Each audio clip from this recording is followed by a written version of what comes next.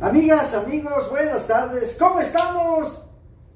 Pues un gusto, un placer y más que en esta ocasión, pues súper bien acompañado.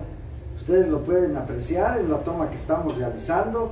Pues la presencia, la personalidad siempre eh, pues dinámica, hiperactiva de un gran amigo.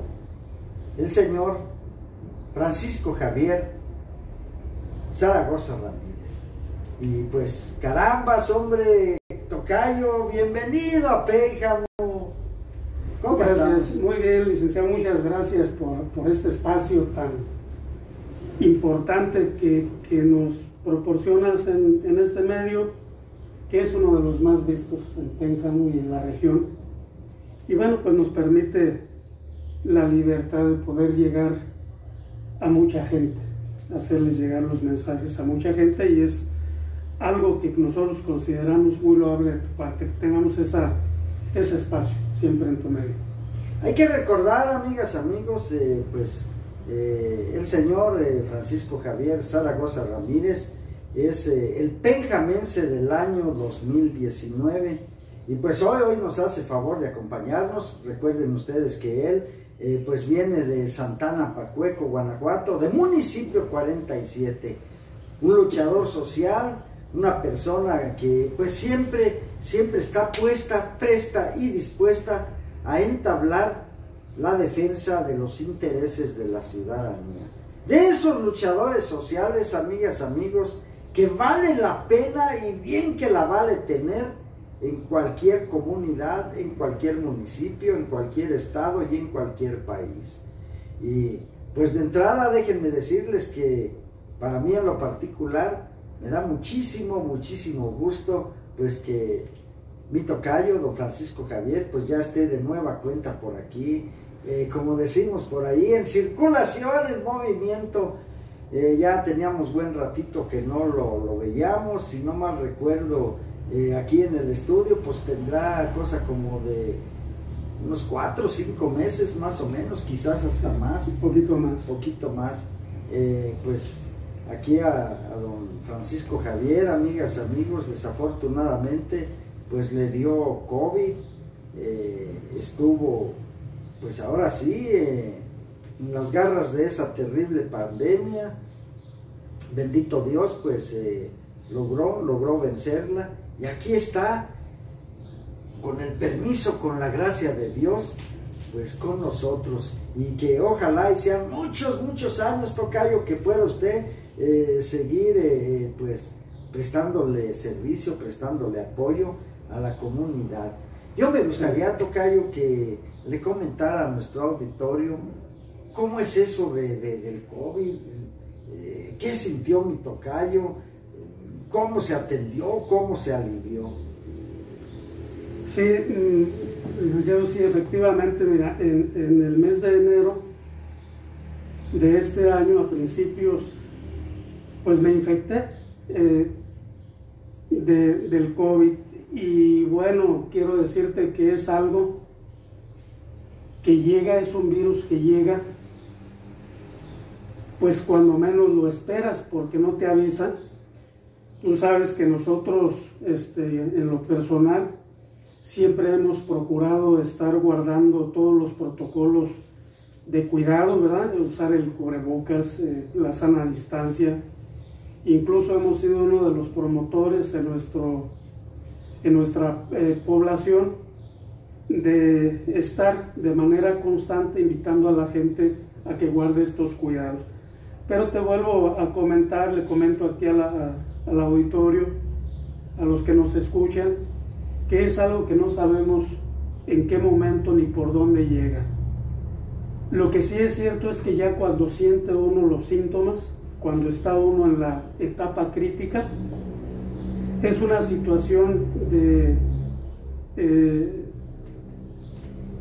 pues de salud, ¿verdad? Eh, de deterioro de nuestra salud, que no se la deseamos a nadie. Yo en lo personal, eh, lo que sentí en ese lapso de enfermedad, de contagio, pues es algo que no se lo deseo ni al peor enemigo. Es algo muy fuerte, muy grave, estuvimos por ahí como aproximadamente entre tres y cuatro semanas eh, atendiéndonos y afortunadamente salimos adelante, como tú dices, gracias a Dios, desde luego, y sobre todo, este, pues, a los cuidados de la familia, que fue un factor muy importante.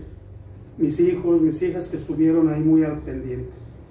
Me atendí de manera particular en mi domicilio con doctores que me hicieron el favor de estar atendiendo. Y bueno, pues hasta la fecha todavía estamos en un tratamiento médico para ir atendiendo algunas secuelas que quedaron, pero ya estamos en circulación nuevamente. Y quiero aprovechar esto para invitar a la gente a que no bajemos la guardia, que estemos atentos, cuidándonos todo el tiempo, cuidando a nuestras familias, porque pues este bicho, este bicho, perdón, ahí anda, ¿sí? No se ha ido, ahí va a estar vigilando a ver a qué, a qué ciudadano infecta. Y bueno, pues hay que tener cuidado, hay que extremar este, estos, estas medidas, sobre todo en este tiempo que ya pasó la Semana Santa, salieron muchos a vacaciones, regresaron. Y bueno, pues cuidarnos mucho. Sobre todo invitar a, la gente mayor de edad, la que guste, ¿verdad?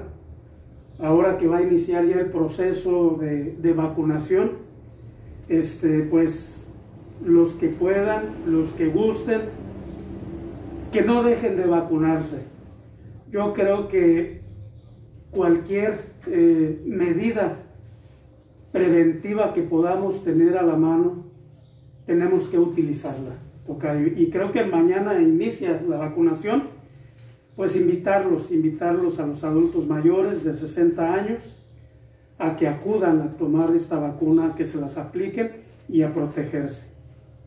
Fíjense ustedes que me comentaba por aquí este, el señor Zaragoza Ramírez, eh, que precisamente mucha gente de allá de Santana Pacueco tiene la inquietud de cómo va a estar la logística en los puntos en que se va a estar aplicando la vacuna allá en Santana Pacueco. Y siento, Tocayo, que también esa misma inquietud se presenta aquí en lo que es la cabecera municipal eh, y en algunas comunidades.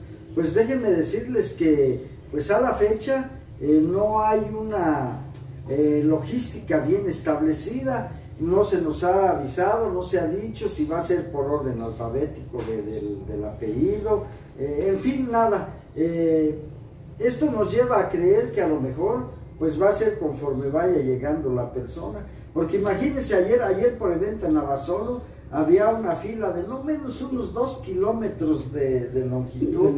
Eh, ahí pues eh, eh, pretender aplicarla por orden alfabético hubiera sido un desbarajuste. sin embargo, así se fueron, así como iba llegando y, ya en su momento se avanzó muy rápido. hoy hoy continúan allá en Abasolo y también está muy fluida la, la, aplicación de la vacuna. Y probablemente también el día de mañana pues sea así de rápido. Eh, a veces estar eh, pues esperando el folio, nos dieron un folio, tocayo, eh, a través de la cita que se hacía por teléfono. Yo por evento hice mi cita, tengo un folio. entonces me imagino que este, si están buscando el folio es perder mucho tiempo. Sí. a lo mejor sí, ya cuando vaya entrando la gente, pues ahí sí ya le, anotan el folio que lleva, ¿verdad? Para su control de ellos. Aunque pues yo pienso que esto de de la aplicación eh, es cosa también, eh, pues ya de criterio de, nosotros mismos, ¿verdad? Que si nos la aplicaron ya, pues no vamos a volver de vuelta a que nos vuelvan a aplicar otra hasta que no se trate de la segunda dosis. Aquí no hay chapuza, en una palabra. Cada, cada persona que, que, de los que vamos a ir a que nos apliquen la vacuna, pues desde luego lo vamos a hacer con mucha responsabilidad. Eh, lo que yo sugeriría, Tocayo, por evento, pues evitar los tumultos. Eh, vacuna va a haber para todos. Eh, esto sí lo comentábamos por ahí este, con gente del sector salud y nos decían que vacunas hay suficientes para todas las personas mayores de 60 años. Entonces yo no, no le veo caso, Tocayo, por evento estar pernoctando toda la noche allá afuera de los centros de vacunación.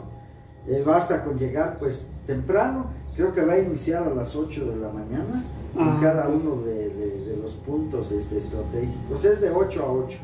Entonces, este, yo no, no veo caso que, que se formen pues largas filas cuando pues podemos ir estando eh, eh, mediando, por así decirlo, ¿verdad? Midiéndole poquito el, el tiempo y evitar esas aglomeraciones. Yo ayer por evento allí en Abasolo lo, lo pude apreciar. No había situaciones como la sana distancia, eh, todo el mundo pegadito. Por evento, si ustedes se fijan, aquí como estoy con mi tocayo, estamos a una distancia eh, pues adecuada. No, ayer, ayer estaban así, miren, así hagan de cuenta, así como tengo aquí el teclado y así pegaditos uno con otro. Eh, no hay necesidad de eso. Vuelvo a reiterarlos, vacuna va a haber suficiente. Y, y lo bueno, Tocayo, bendito Dios, que ya llegó, que ya llegó y que se va a empezar a aplicar, ¿verdad? Sí, yo, yo creo que eso es lo más importante, que, que bueno, eh, ya tenemos las vacunas, ya es oficial que está aquí, este, y como bien comenta el licenciado, pues eh, hacerle extensiva esa invitación a la gente que cuando estén en los puntos de vacunación, en los módulos, procuren guardar su distancia, que no se amontonen, finalmente los van a estar pasando, ¿verdad? Y el estar apretaditos ahí, pues nadie se va a pasar adelante del que esté este, primero que ellos. Entonces, por salud, por cuidado y sobre todo para hacerle eh, patente a esta gente que viene a hacer este trabajo de vacunación, pues que nuestra, nuestra sociedad es una sociedad educada, es una sociedad que respeta las normas, que nos sabemos cuidar y que somos responsables de las disposiciones que puedan establecer en cada módulo de vacunación. Eh, y por el otro lado, de, eh, como comenta Dick, de eh, que hay mucha gente que se va desde un día antes, en la noche, ¿verdad? A hacer ya la fila. Bueno, pues si no hay necesidad de que lo hagan, de que se estén desvelando, desgastando ahí, pues no lo hagan, sencillamente que se vayan temprano.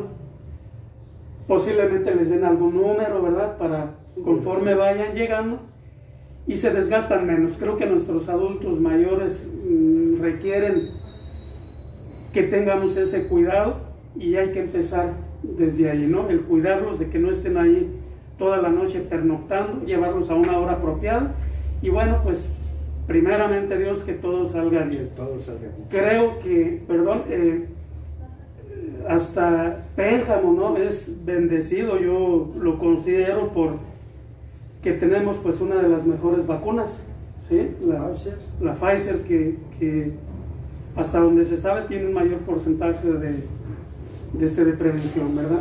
Y qué bueno, qué bueno para todos nuestros adultos mayores de 60 años que así sea.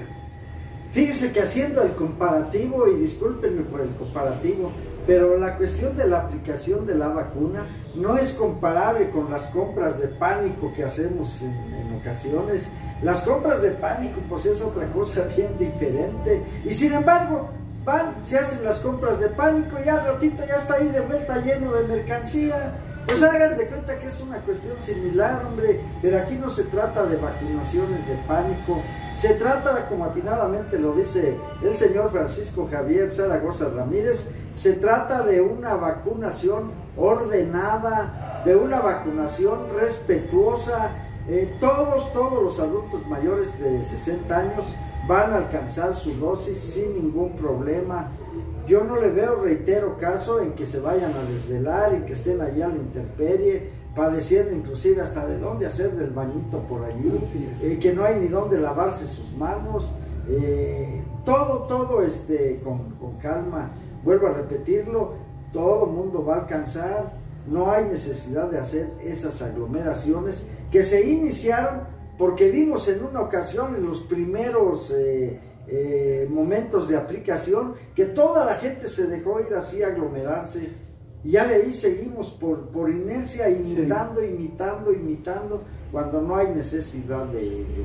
Vuelvo a reiterarlo, eh, todo mundo va a alcanzar, va a alcanzar su vacuna. Yo quisiera, Tocayo, salvo su mejor opinión, dejar también bien, bien remanchada y recalcada una situación. No por el hecho de aplicarnos la vacuna, quiere decir que ya vencimos a la pandemia. No, de ningún modo. Hay que seguir, a pesar de que se nos aplique la vacuna, hay que seguir conservando las medidas estratégicas de sanidad que nos marcan las autoridades de salud. Esto es el uso del cubrebocas, esto es eh, la aplicación del gel, el gel y, lavarse continuamente. La sana distancia. Y la sana distancia. Eh, fíjese que esto del, del, coronavirus, pues nos trajo muchas cosas buenas también. Por lo menos el hábito de, del aseo. Creo que, que sí nos trajo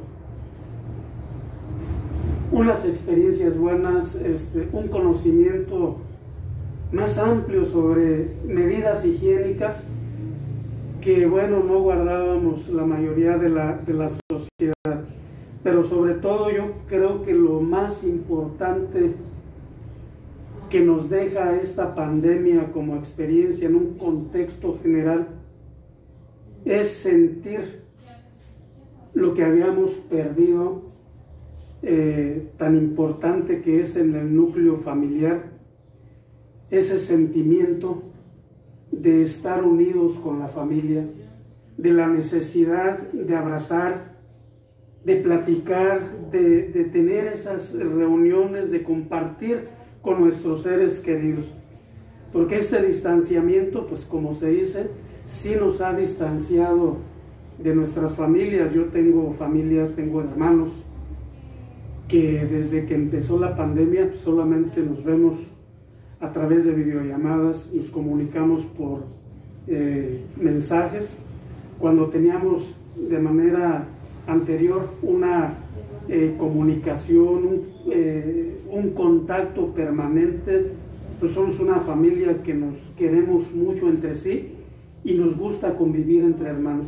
Entonces esto nos ha distanciado de manera grave, pero vuelvo a, repetir, el licenciado es eh, una experiencia donde nos hace sentir la necesidad de tener el cobijo y el calor de la familia unida y nos hace revalorar el valor que tiene cada uno de los miembros de nuestra familia en su conjunto y no nada más de nuestra familia en lo particular, también de nuestros amigos, que más eh, con quienes convivimos, con, con, quienes hemos tenido confianza, eh, que nos ha distanciado. ¿no? En este caso muy particular, yo a usted lo aprecio mucho, a su familia, eh, hemos tenido una convivencia muy cercana y bueno, esto lo mencionaba algún, eh, al principio, teníamos ya cerca de cinco o seis meses eh, que no teníamos esta oportunidad de volvernos a, a, sentar así como estamos y es consecuencia de lo mismo.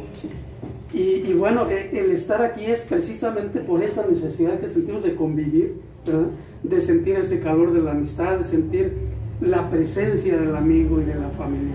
Son experiencias muy bonitas son aprendizajes nuevos. Eh, y bueno, eh, ojalá, ojalá que esto pueda pasar en el corto tiempo y podamos el día de mañana retornar, que lo veo muy difícil, ¿no? A la normalidad que teníamos antes. Fíjese que usted lo ha podido apreciar, él, cada que viene a Pénjamo, él acostumbra mucho ir a presidencia municipal, a hacer su trabajo de gestión social y, pasa por ahí, por eh, a un costado ahí de la presidencia, pasa por el despacho del licenciado Manuel Negrete y no sé si se ha fijado, Tocayo, el despacho estuvo un tiempo cerradito, eh, en ocasiones pues el que abría era el doctor, que está a un lado ahí del privado del licenciado Manuel. Eh, Manuel Negrete, pues muchos de ustedes lo saben, el licenciado es mi compadre, 42 eh, años, pues ahora sí, en, constante interrelación, y pues se me enfermó mi compadre, y duele, duele, duele aquí, eh, pues no poder ni siquiera ir a visitarlo, porque está el, el, riesgo inminente de que a lo mejor yo pueda llevar alguna bacteria que pueda agravar su situación, ¿verdad? Eh, ya a lo mejor no es tanto que vaya yo y que me pueda eh, contagiar con, con, lo que él pudiera tener, no, sino la cuestión de que yo pueda llevar alguna situación que pueda empeorar la salud. Afortunadamente ya, ya mi compadre pues ya está también ya mejoradito, ya está recuperándose, pero más vale, más vale que esté allí ahorita en lo que se, se nivela y puede ya salir y rehacer su vida, pues a lo mejor ya no tan normal, ¿verdad? Pero pues por lo menos tiene vida y eso es lo que sí, retomar sus actividades. Sí, esto, esto es muy, muy este, lamentable, sobre todo es triste eh, cuando sabemos de algún amigo que pierde la vida, tocayo, eh, licenciado, algún vecino, eh, que sabemos que está ahí al lado, pero no podemos acompañarlo porque perdió la vida por cuestión del COVID-19.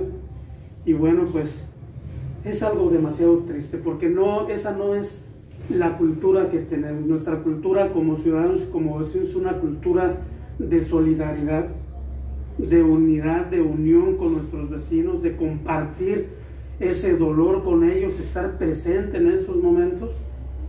Y esto desafortunadamente no nos permite hacerlo. Este, y pues se siente, se siente esa tristeza, no esa, ese dolor. Pero vuelvo a insistir, ojalá que pronto pase esto eh, y para que esto pueda, podamos nosotros contribuir a que pase, pues tenemos que seguir cuidándonos, tenemos que seguir guardando estas medidas preventivas, estos cuidados, eh, para que esa normalidad anormal que estamos viviendo se nos haga más llevadera irnos adaptando ¿sí? a, ese, eh, a esa distancia que tenemos que guardar de, de, la gente cuando vamos a las tiendas, cuando caminamos, eh, a ese cuidado de lavado permanente de manos, un cuidado higiénico que es muy saludable incluso, al uso de gel antibacterial, porque va a ser algo que vamos a tener, creo que de manera permanente. Y por mucho tiempo. Por mucho tiempo pero en tanto pues hay que cuidarlos. Fíjate que en, esta, en este proceso de vacunación que se va a dar mañana, estuve viendo los módulos que se van a instalar en, la, pues en todo el contexto territorial del municipio y créeme que es una logística muy bien elaborada de parte de quien lo haya hecho, o sea, el sector salud del municipio, la presidencia eh, y otros actores que hayan estado en ese proceso de elaboración de esta logística, de ubicación de módulos, de los lugares donde van a estar, en la zona rural, etcétera, me parece muy adecuado porque va a evitar este, que haya precisamente esas aglomeraciones de gente y vamos a tener la oportunidad, gracias a esta logística, de tener una atención más de calidad. ¿sí? Entonces, un reconocimiento eh, a quienes hayan elaborado esta logística. Los tres niveles. Los tres niveles de gobierno. Este, pues qué, qué, qué bueno. Eh, tengo entendido, mira, en la piedad, cuando se dio el proceso de vacunación, mucha gente salió encantada con la atención, con la forma de trabajar de las personas responsables de la aplicación, la atención que se les dio, sobre todo a las personas discapacitadas, ¿sí? Eh, fue algo excelente, ¿no? Conozco gente muy exigente como personas y salieron encantadas, ¿no? Eh, ojalá que, y no dudo que aquí en Pénjamo nuestros adultos mayores van a tener también ese buen sabor de boca, por llamarlo así, al tener esta atención de calidad, como bien lo dice el licenciado, en los tres niveles de gobierno, federal, estatal y municipal. Fíjese que desde hace cosa como de unos 10, 12 días, eh, ya estas entidades de gobierno estaban trabajando ya en lo, en lo que era la logística de aplicación. Nos tocó ver por ahí a funcionarios estatales muy ligados con el tema, eh, analizándolo con, con el municipio y con la federación ¿verdad? Entonces, eh, excelente trabajo el de, los tres niveles. Que bueno, yo, yo, yo creo, licenciado, que, que discúlpame que te haya interrumpido, eh, esto entonces nos deja claro que cuando los tres niveles de gobierno se ponen de acuerdo, el mayor beneficiado es la sociedad. Así es. Y cuando están en pugnas eh, internas por cuestiones políticas o por cuestiones de diferencia ideológica, bueno, las consecuencias también los vivimos como ciudadanos porque definitivamente no funciona. Creo que eh, son entes de gobierno federal, estatal y municipal que se necesitan mutuamente para dar un buen servicio a la sociedad en general. Así es. Qué bueno que hayan tenido y que tengan esta coordinación, que hayan tenido estos acuerdos de colaboración. Eh, pues hay que darles un aplauso al gobierno del Estado por, eh, por haber entendido que solamente unidos Guanajuato puede salir adelante. Pues así las cosas, amigas, amigos. La última recomendación, pues, vayan, vayan y aplíquense su vacuna. Vuelvo a decir, eh, traten de no generar tumultos, de no estar haciendo cola, hombre. Hay vacuna para todos. Eh, basta con llegar, formarse, pero les vuelvo a decir, no de una manera así angustiosa. Entendemos, este, pues significa vida esta vacuna. Pero si ya nos aguantamos, tocayo, de un año infracción, pues ya un par de horas un ratito más, ¿no? Pues sí, hombre.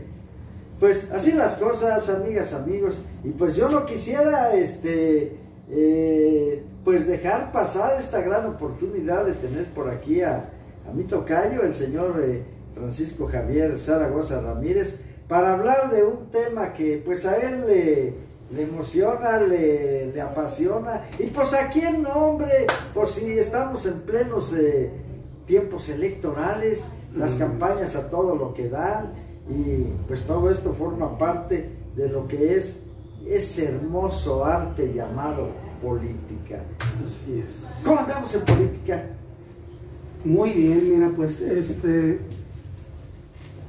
analizando, analizando el contexto político que vivimos en Pénjamo, viendo las sorpresas que nos dan los actores políticos, algunas sorpresas inesperadas eh, que conmocionan todo el contexto electoral de los partidos políticos. Eh, y bueno, en, ese, en esa revisión que se hace, en ese análisis, pues vemos a los principales eh, contendientes, que todos tienen la misma importancia, desde luego, las que andan como candidatas, pues es algo muy eh, reconocible de parte de la sociedad, porque nos siguen eh, dando esa muestra de que la mujer día con día se está empoderando más en todos los aspectos que implican el desarrollo en la toma de, perdón, que implican la toma de decisiones en el desarrollo político y social de nuestro municipio, del Estado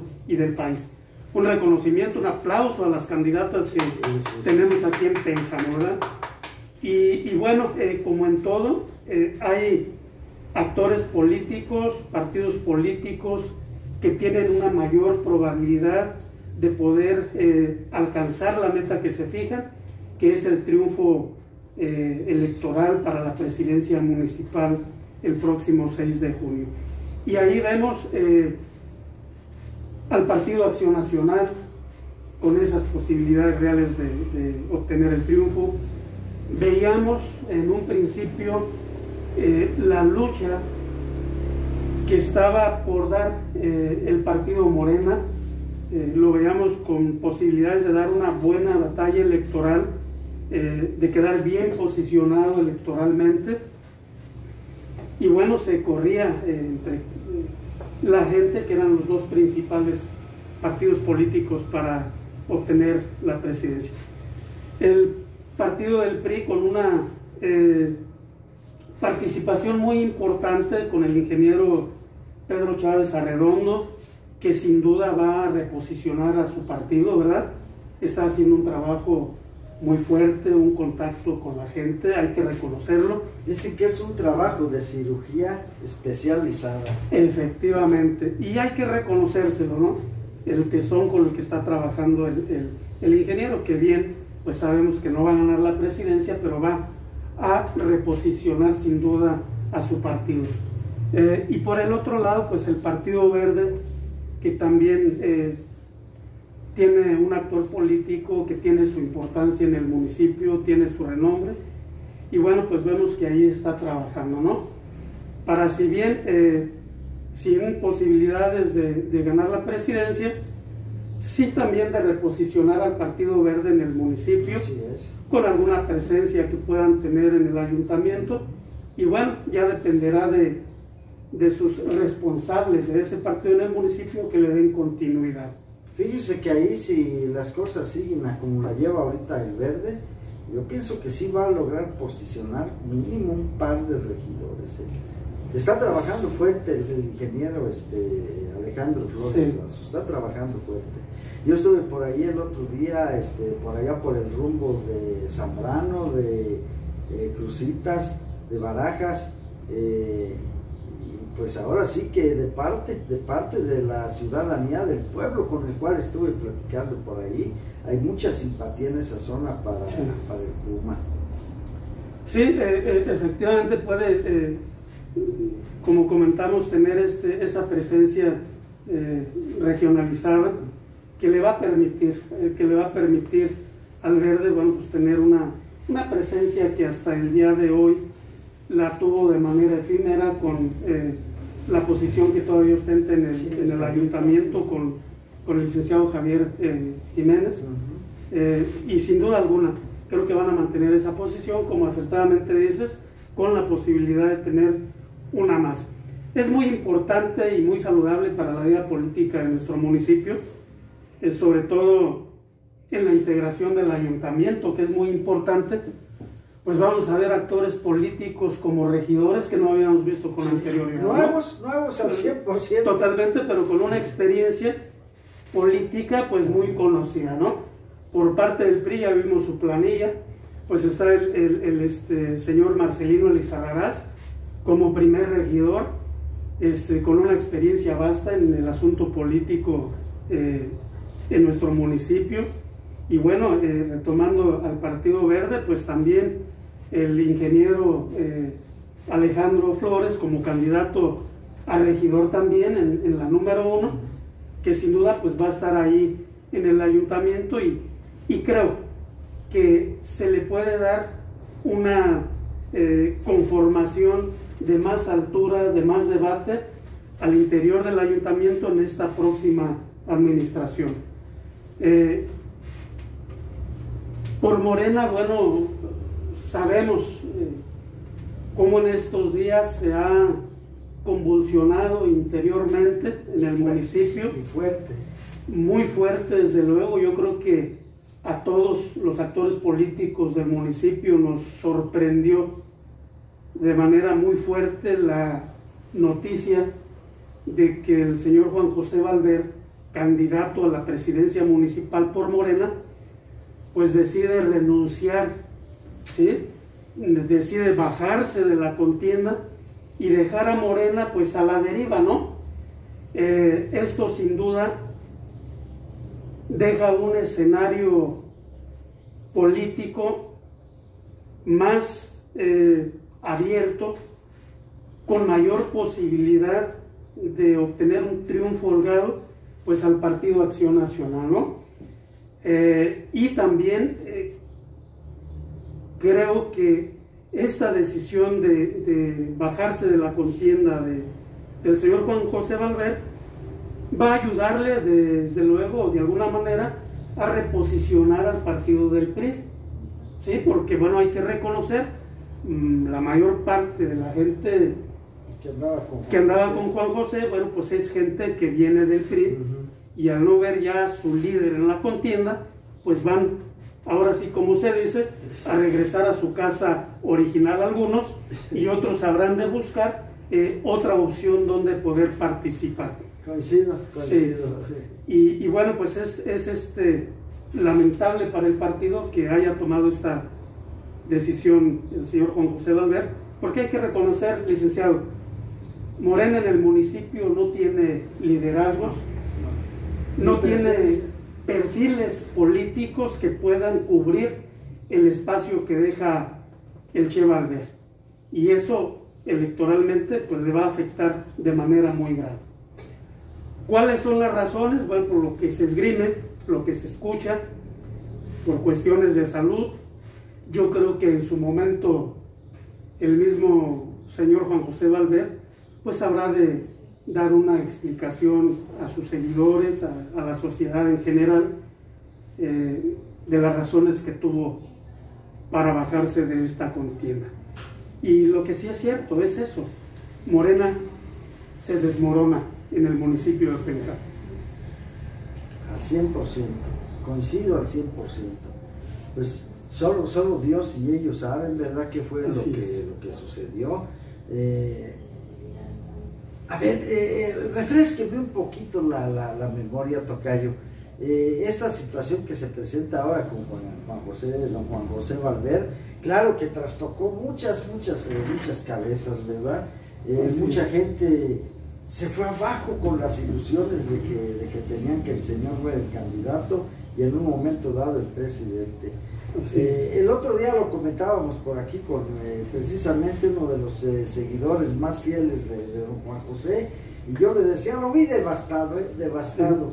Y yo le decía que si le servía de consuelo, esto no era algo que por primera vez pasara en el municipio, que ya se habían dado cosas similares. Yo recuerdo, esto fue por allá en el 1979, que habían designado al señor Alejandro Herrera Gómez, maestro, eh, candidato oficial del Partido Revolucionario Institucional a la presidencia municipal de Pénjamo. Se hizo el evento de presentación, inclusive ahí en el auditorio de Casa Agraria. El señor, pues contento, el candidato en ese tiempo, pues el único. era el único, así es que ya era un hecho que él era el presidente municipal. Pues ande que a los ocho días, que, lo, bajan. que lo bajan y ponen a don Ezequiel Gómez Hernández, pariente creo también de él, no tengo el dato si eran parientes, pero creo que sí.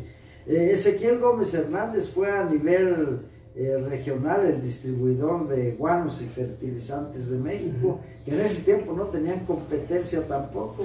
Eh, y me acuerdo que allí mismo en Casa Agraria hicieron también el, evento donde lo presentaron oficialmente como, como el candidato a los pocos días, suelo también para abajo. Y llega Rubén García Farías y al final pues fue el que fue el alcalde. Sí, yo creo que, que este tipo de movimientos, por ejemplo, en el que mencionas, licenciado, se debe más que nada pues a las decisiones populares, ¿no? Los intereses de grupos eh, políticos que en cada partido imagino que todo el tiempo han existido. Sí, sí, sí. En el caso particular de Pénjamo, lo que vivimos ahorita, pues no sabemos con precisión, ¿no? Que no se descarta, desde luego, eh, que pudiera ser alguna situación de presión, pero finalmente, vuelvo a repetir, lo que sabemos es lo que se ha dicho, pero pues yo creo que el señor Juan José eh, Valver, pues habrá de dar en su momento las razones personales, que serán las que habremos de creer en, eh, de manera definitiva, y efectivamente, mira, esta decisión, como lo comenta el licenciado, afecta emocionalmente a muchos seguidores del señor Valverde. Eh, no dudo que también a ese equipo que, que, ha trabajado con él durante muchos años en este acontecer político de, de Morena, pues también los haya tomado de sorpresa y no quiero saber cómo estén ahorita, ¿no? en su estado de ánimo, en su estado de participación, porque pues es como cuando estamos en una fiesta y de repente te tronó todo el aparato de sonido, se te fue la luz y te quedaste solamente con el ritmo en el pensamiento, ¿no? Sin saber qué pasa ni qué es lo que vas a hacer. Son eh, decisiones pues eh, muy inesperadas, muy imprevistas, que pues se dan en los momentos menos apropiados, pero siempre tengo la seguridad que por razones de fuerza mayor obligan a estos actores a tomar las decisiones. Y esas causas de fuerza mayor, vuelvo a repetir, pues habrá de ser el señor Juan José que en su momento hable, porque hasta ahorita, eh, de manera personal, no sabemos. ¿sí? No sabemos de, boca de él qué haya pasado. Eh, muy lamentable, muy lamentable su decisión, pero bueno, pues son circunstancias. La política, la política es circunstancial. En la política no hay nada escrito hasta que se termina y están las eh, cosas ya realizadas.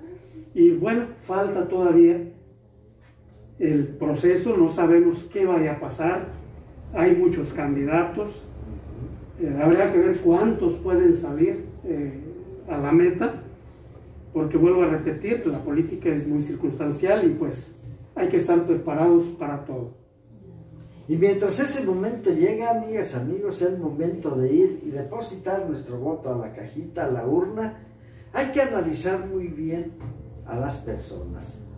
Hay que analizar, pero de la A a la Z, los perfiles, pero sobre todo las propuestas.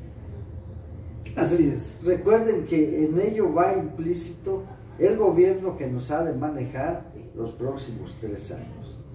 En ello va implícito el avance, el retraso o, el, que el municipio se quede este, estático. Y pues analizar bien, analizar bien por quién vamos a votar. Lo que sí es innegable, no deje de votar. El abstencionismo es mil veces peor que quedarnos callados. Efectivamente, indiscutiblemente, como, como lo menciona el licenciado, muy acertadamente. Yo creo que eh, la participación electoral de la sociedad, pues es la que marca el rumbo que ha de tomar eh, el municipio de Pénjamo, ¿no? Eh, y en este contexto que vivimos ahora, tengo de manera muy presente que la decisión de la sociedad no se va a dejar guiar por los partidos políticos. Yo creo que la gran mayoría eh, tiene la capacidad para analizar los perfiles que están postulando los partidos políticos para este cargo tan importante que es la presidencia municipal.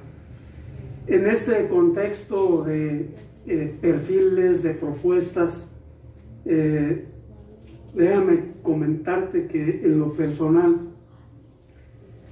veo, he seguido uh, a los candidatos en su apertura de campaña, los que ya lo hicieron, en su eh, caminar por las comunidades, pero sobre todo he estado muy atento a las propuestas que puedan hacer. Yo le digo a la gente, los candidatos van a llegar y nos van a llenar de promesas, ¿sí? Como siempre. Este, van a llegar con un cúmulo de promesas, de, un, buenos discursos, etcétera.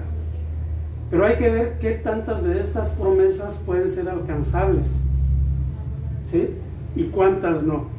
Y yo creo que en eso precisamente incide el que podamos nosotros detectar la honestidad de los candidatos cuando nos plantean este tipo de propuestas.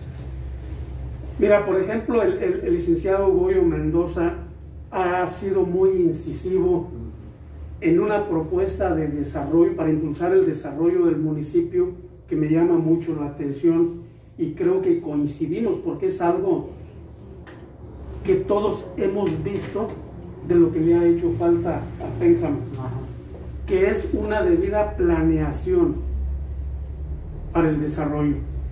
Eh, desde hace muchos años, yo en lo personal he visto que Pénjamo se ha manejado a la deriva, lo vemos en la cabecera municipal, no han eh, los gobiernos en turno elaborado una planeación, un proyecto de desarrollo para lo que es la cabecera municipal en el contexto de las necesidades primordiales. ¿sí? Esto es en servicios, en generación de empleos, en infraestructura urbana, eh, etcétera, En el contexto de desarrollo rural es igual. Parece que van haciendo las obras de tal manera que eh, hacen una en la sierra. Y hacen otra en el otro extremo del municipio y hacen una calle en otra comunidad sin detectar las necesidades prioritarias. Si el licenciado Goyo aplica esta política que está manejando de hacer una planeación adecuada, estoy seguro que Pénjamo va a vivir un desarrollo más ordenado. Porque precisamente en la planeación están los resultados de la aplicación de las políticas públicas que requiere nuestro municipio. Si no se tiene esa capacidad de planeación, no hay política pública, como lo hemos visto, que pueda tener un resultado satisfactorio de acuerdo a las necesidades de la sociedad. Y por mucho dinero que tengan o traigan, ni aún así. Así es. Ni aún así. Se necesita planificar. Eh, yo recuerdo por allí la época de don Miguel de la Madrid Hurtado, eh, cuando él crea la Secretaría de Programación y Presupuesto, que tenía como el principal objetivo, fuera de la cuestión de, la cuestión de los ingresos y egresos del Estado, el formular un plan, un plan global de desarrollo con vigencia a 20 años.